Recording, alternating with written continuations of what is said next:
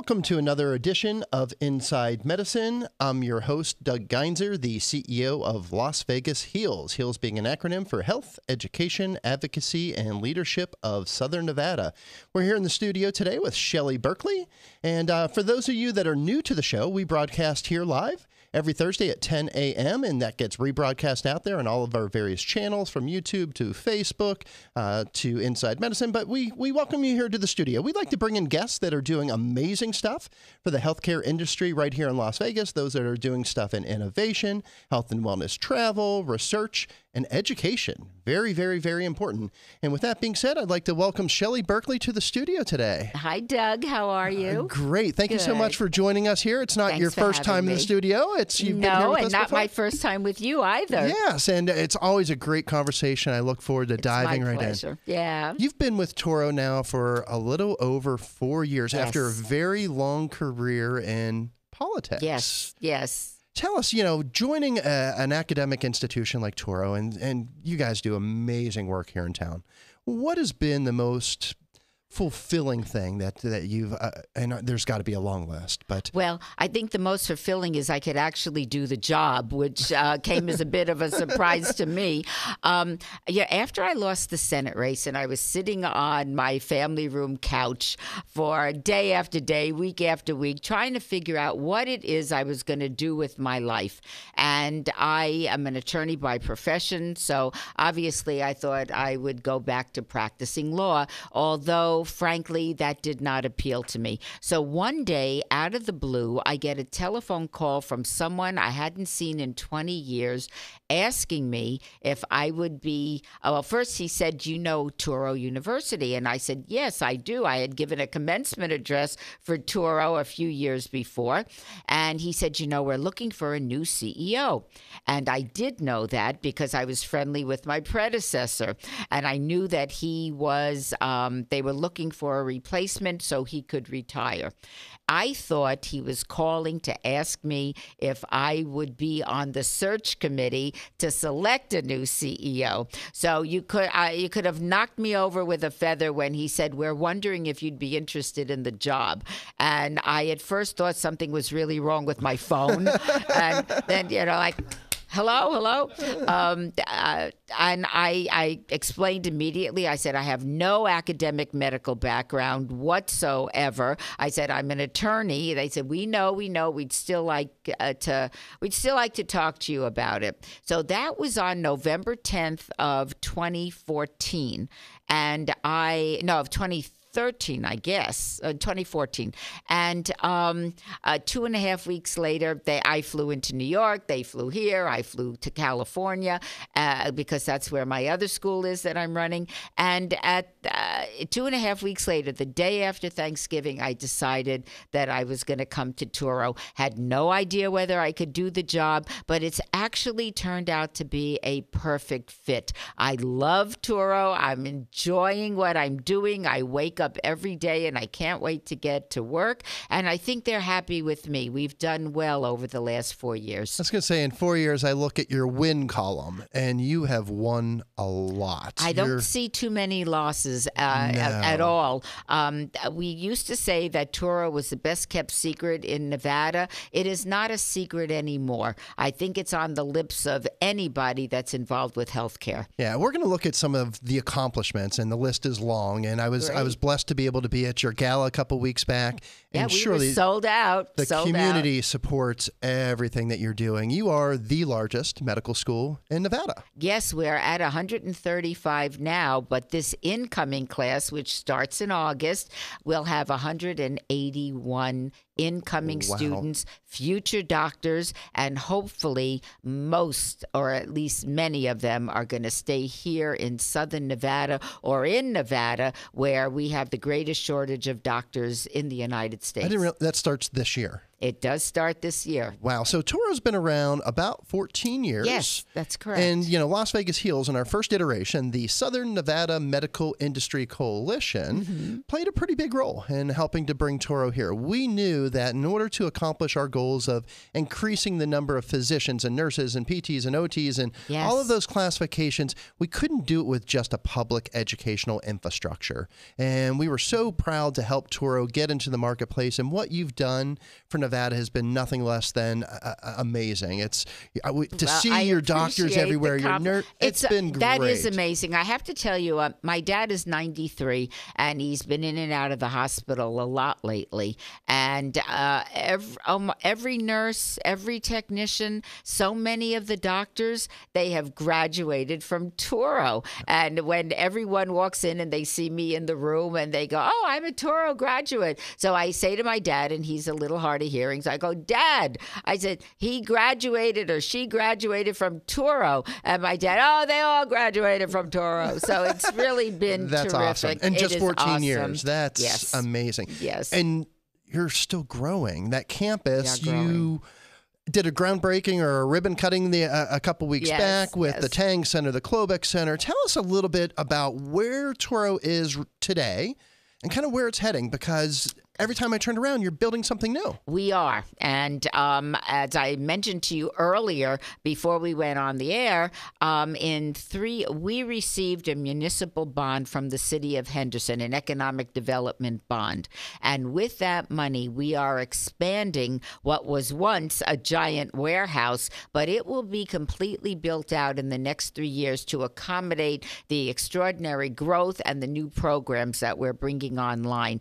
Everything we do at Touro, we do because there's a need in the community. And I'll very briefly go over it with you. As you know, our medical school, we've graduated 10 classes. Uh, we've had 135 students in each of, uh, well, in the last several classes. Um, we had 5,100 applications this year. Wow. 5,100, which necessitated that we go to our accrediting body and get permission to expand to the 181. So we've done that.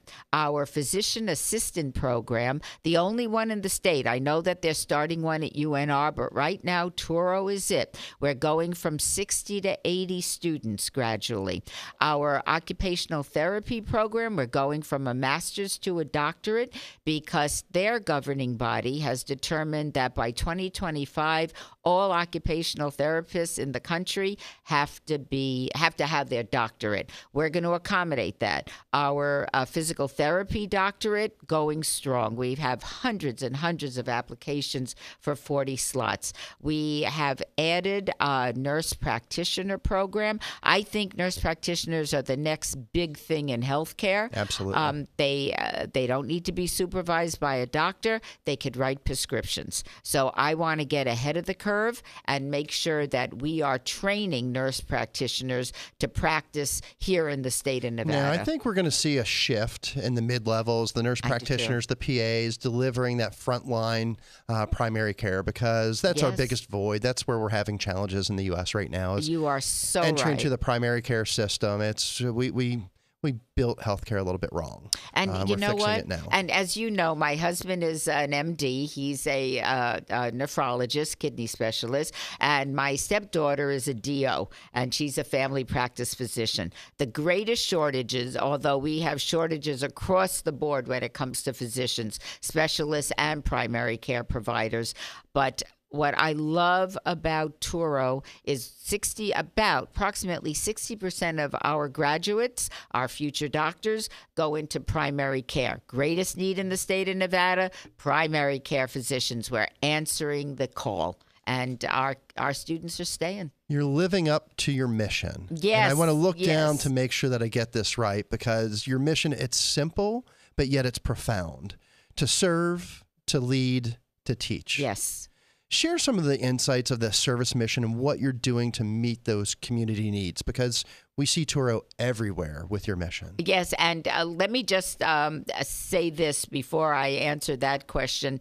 Um, our if we had more residency programs, and you and I have talked about this and worked together to get more in Absolutely. the state, we'd have more doctors staying here. Um, We're well on our way, but we still have a ways to go. uh, we uh, we have made an extraordinary effort in this state, thanks to the governor and the legislature. We have a ways to go, but if, uh, as you know, uh, and I'm sure most of your viewers know, after you graduate medical school, you still can't practice medicine. There's three years of residency, graduate medical education. It's costly, but it's got to uh, you've got to do that. If we don't have the the number of residency programs that we need for the graduating medical students, they have to go someplace else. And you know, national statistics say 70% of doctors end up practicing where they do their residency. You want to increase the number of doctors per capita in this state? More residency programs are not important; uh, they're necessary. So that's important. My other uh, other jobs are our other programs.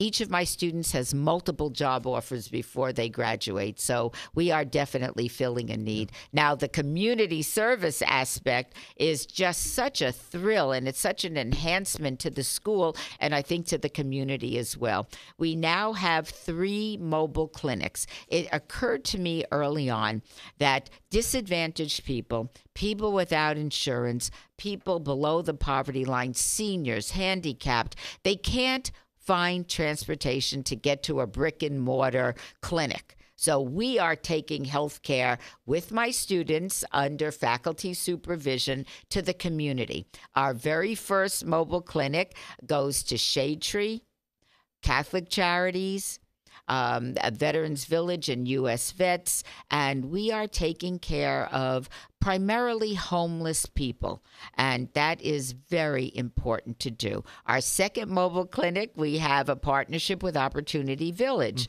uh, which I know you're very aware Absolutely. of, and my it gives us an opportunity for my students to be treating people that have um, uh, physical disabilities and often may not be able to articulate what's wrong with them. So, this is an important um, population that my students are being exposed to. In addition to that, we're doing good work providing health care to a fragile uh, medical population.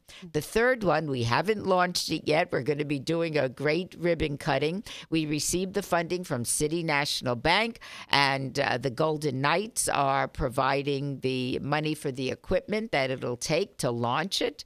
Um, we have a partnership with Nevada Hand that builds low income housing to go to their senior housing projects, both assisted living and independent living, and offer primary basic health care to the people that are living in those projects. So, those are three really great things we're doing. In addition to that, we have our Autism Center on campus. We mm-hmm. had Uh, 435 patient visits this past month. Oh, wow. That's extraordinary. yeah, it is. And frankly, we welcome other organizations getting involved because there aren't near enough of us for the need in this community and in this state. We have our medical clinic, takes Medicare, most forms of insurance, 2,000 patient visits this past month. So we are a busy little place and hopefully doing really good things for the community. continuing to grow, grow, grow, grow, and you, Yes. the opportunities that you're presenting, it's great for the community because somebody has to serve these populations.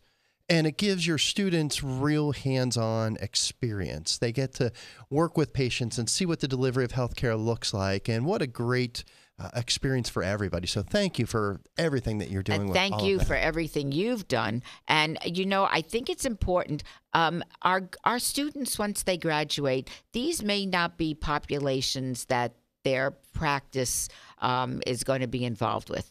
Don't know, but it's important for our students while they're studying to see that these populations exist out there and they need health care and they need our help. So I'm I'm pretty pleased with what we do in the community. And you've built another partnership with the Southern Nevada Health District. Yes. Talk to us a little bit about that because it's great to see a private institution and public health come Yeah. together. And we're going to talk about another one with Nevada State College Oh, after. that's a but I want to talk about let's talk about the health district first. Um, you know, I- it, this has been just a wonderful partnership. Um, the Southern Nevada Health District needed a place down in, near in the Henderson area to provide vaccinations, um, free vaccinations to uh, the community. Very important. Uh, they needed a place to do it. We offered our school to be their central location.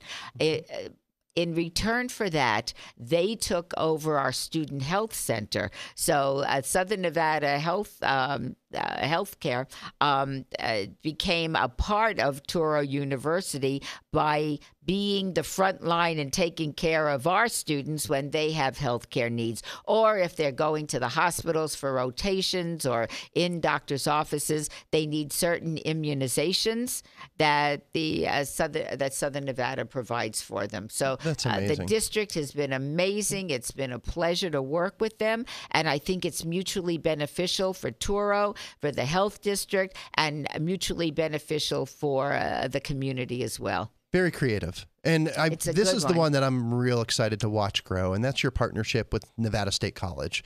so to see public education, Uh, good. private education come together, I think it's the first of its kind in Nevada. I believe it is. And my provost, uh, Ray Alden, and Ray, I knew Ray when I was on the University Board of Regents because Ray was the provost at UNLV. Um, he left town for a while, went to Northern Illinois, and now that he has grandchildren in in the Henderson area, he and his wife wanted to come back home. And we had an opening for a provost, so it was a perfect match.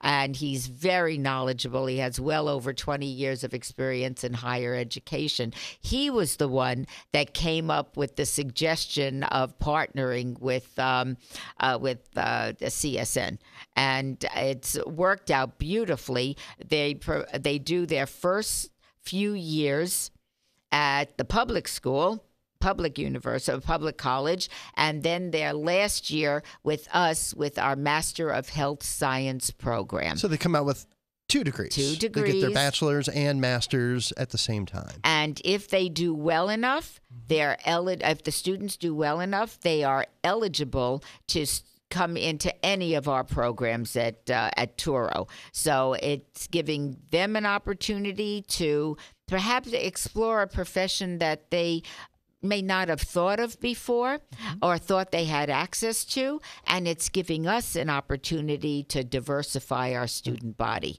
And that's very important. I believe the future of healthcare that healthcare providers have to look like have to reflect the populations that they're serving And that's the true meaning of growing your own too, because Yes. Nevada State College, I think they ha- handle the highest concentration of first-time college goers, if that's the right word. Yeah, and I, I I could relate to that because I am a first time college goer. Yeah. But uh, Nevada State College, what a wonderful asset for our community. and then they hand them off to Touro, so we have a higher likelihood Yeah. Of retaining them in this state, and they're Yes. homegrown. yes, and I think this particular student population. They're going to stay here. Their families are here. They have roots here. And this is where they had their academic success. And again, if they do well at Touro, they can go to our physician assistance program, our medical school, any number of our programs, um, because they will be fully prepared to do so and very successful academically. Those are the students we want at Touro. So we're touching them in college. We're doing a nice clean handoff into higher ed and to to get them into a healthcare track. Let's go before that. Camp Med. Yes, you all are touching students. Ask, yes. students, uh, high school students, and Yes. you're giving them a, a, a pathway to Yes. get into healthcare. Tell us about Camp Med. Well, uh, let me even go one even lower than that. Um, as you probably know, the Clark County School District named an elementary school after me recently, the Shelley Berkley Elementary School. Congratulations. Thank you. Qu- uh, honor of a lifetime. Truly, it is. Um, we sent uh, a bunch of our medical students, Touro medical students, to talk to the fifth graders at Berkley Elementary School. Uh, and, you know, they're there with their stethoscopes and their um, uh, blood pressure pumps and everything. And uh, they uh, presented to the fifth graders at Berkley Elementary. And a number of the kids said, I want to be a doctor when I grow up. I want to be like those people who they were all wearing their white coats. And I thought, how wonderful to at least plant this seed in these youngsters' minds so that they have a goal or something to look forward to or something to aspire to. And so we'd like to start doing this throughout the Clark County School District. My students loved it, and I know the students at Berkley Elementary loved it too. Camp Med, we are partnering with Roseman and UNLV to go out to the high schools and do something similar, perhaps on a slightly elevated level that we do at Berkley Elementary with the high schools to give these students something to think about. That there's a number of healthcare professions out there, and you and I, I think, are in complete agreement that those are the professions of the future. They're Absolutely. here now. The need is great, and it's only going to continue to grow. Let's get high school students thinking about their futures, what they would like to do with uh, to have a successful profession, so that they have a, a sense of direction when they go to college and think beyond college. And I, that's very important. And I love the partnership between Roseman and UNLV and Touro. This pipeline building is so critical to our future.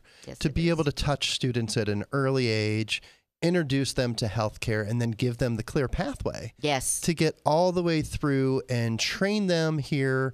Get them into residency Yes. so they stay here. Yes. You know, I've been a resident of Las Vegas now for 25 years and it's I've never seen this before. Yeah. And to witness it now, I know when I'm old and I need that health care, it's going to be here. Yeah. Which I, is I quite agree with you. It is important, and Touro is leading the way um, when it comes to providing health care for the people of the state of Nevada. And I think um, I know I'm very proud of that. And I think uh, not only our students, but faculty and staff and administration, we're all wedded to the mission. We know why we're here, we know what we do, and we know that the product that we produce, our students are going to make fine healthcare professionals. So we're going to talk a little bit about how training the future student has changed a little bit. And one of the latest mm-hmm. developments of Touro with the Michael Tang Clinical Simulation Center. Um, Las Vegas Heals, as we know, is going to be hosting a healthcare happy hour there. We're very excited May about that. 16th. That's yes. and I was I was fortunate enough to go tour the center just uh, about two months ago, maybe Yeah. I think it was. Tell us a little bit about the Michael Tang Simulation Center and talk to us a little bit about the importance of that and the role that it plays with medical education. Uh, it, in medical education, like every other aspect of our lives, we're going into a, we're in a high tech world with amazing technology. And we are taking advantage of it by bringing in state of the art technology, anatomage tables where you can actually perform autopsies and dissections on a table with uh, a 3D image that is as lifelike as anything I've ever seen. We have cut suits that you cut into them and they bleed. um, it is amazing. We have mannequins, and that's not the right word for it, um, uh, that. Um, I'll give you a perfect example. If your students are doing a cardiac rotation, and the six weeks or the month that they're at the hospital, if nobody codes, and I don't wish anybody to code, they don't get the experience. But we have mannequins. Not only do they bleed, not only can you suture them, not only can you analyze all of their vital signs, but if you want them to, they can have a heart attack, they can give birth, they can do just about anything that your student is going to be. Uh, uh, need the knowledge of while they when they practice. So we can do all of that in a simulated fashion. That's the Tang Center, thanks to Michael Tang's generosity. But I will say this because maybe I'm old fashioned, but I think before anybody cuts me open, I want them to have seen the inside of someone else. So we're not giving up our cadavers. So we still have our 50 cadavers, mm-hmm. but the technology is just an enhancement. So our students are learning the old fashioned way and they're learning the new wave way as well. Yep. And simultaneously, when you open up that, you Mm-hmm. also open up the Chantal and Stephen Cloobeck Regional Center for Disaster Life Support. Yes, And I don't think that could have been more meaningful and relevant with what happened. Timely, yeah. And you word. know, the amazing thing is, we had been talking about doing this. We realized that there was no disaster training center in our region. And um, uh, we thought, you know, we should really be doing this. I spoke with Stephen Cloobeck. Stephen and Chantal gave a very generous contribution so that we could um, apply for the certification to become a disaster training center. Our center will, and this is before October 1st, um, but Stephen was also instrumental in creating the Victims Fund. And so this is just obviously a passion of his. Um, I, we should I hope that we never need it. However, we have three. We are training three different levels of people. First line teachers.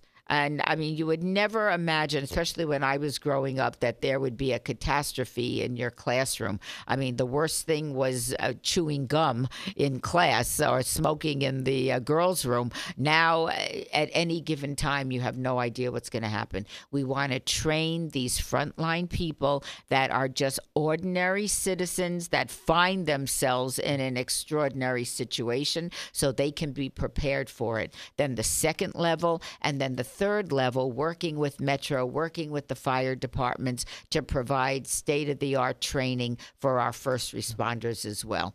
And so this regional center is going to be a very important part of what we do for the community, and it's very exciting. Very and exciting. it's um, unfortunate what happened on October 1st, but I've never been so proud I, I felt the same about our way. community and how we came together. Yes. And we showed the world that we have the most sophisticated trauma delivery system on earth. It was it I, I agree with you. I was I grew up here as you know. My family's been here 55 years. I'm not sure that I ever felt more pride for this community, for my hometown as I did that that night and in the aftermath.